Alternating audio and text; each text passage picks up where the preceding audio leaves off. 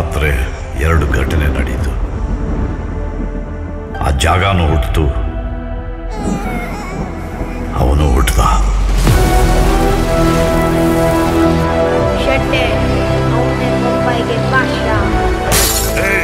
क्या चाहिए रे तेरे को ದುನಿಯಾ ನನ್ನ ರಕ್ತನ ಕೆಂಪಗೆ ಇದೆಯಲ್ಲ नहीं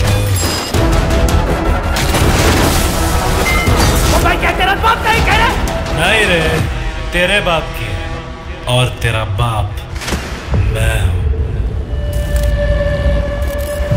ನನಗೊಂದು ಕೆಲಸ ಮಾಡಿಕೊಡ್ಬೇಕು ಒಂದು ಆನೆ ನುಡಿಬೇಕು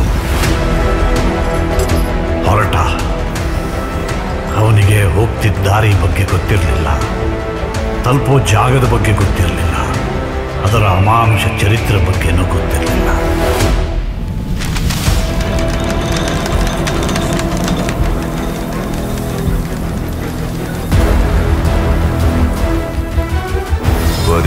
ಬೊಕ್ಸೆ ರಕ್ತ ನೋಡಿನಿ ಇಷ್ಟೊಂದು ಎದುರ್ತಾ ಇದೆಯಾ ಅಂದ್ರೆ?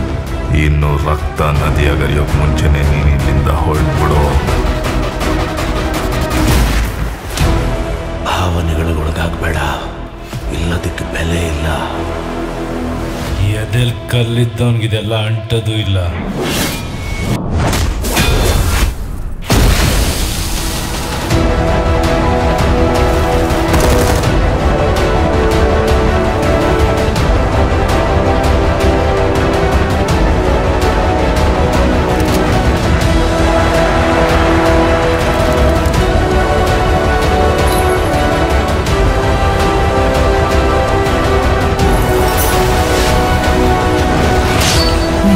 ಹಿಂದೆ ಸಾವಿರ ಜನ ನಿಂತಿದ್ದಾರೆ ಅನ್ನೋ ಧೈರ್ಯ ನಿನಗಿದ್ರೆ ಬರೀ ಒಂದು ಯುದ್ಧ ಗೆಲ್ಬೋದು.